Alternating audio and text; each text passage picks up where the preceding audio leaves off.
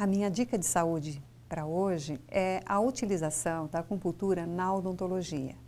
Uh, você pode se beneficiar dos efeitos da acupuntura durante qualquer tipo de tratamento odontológico.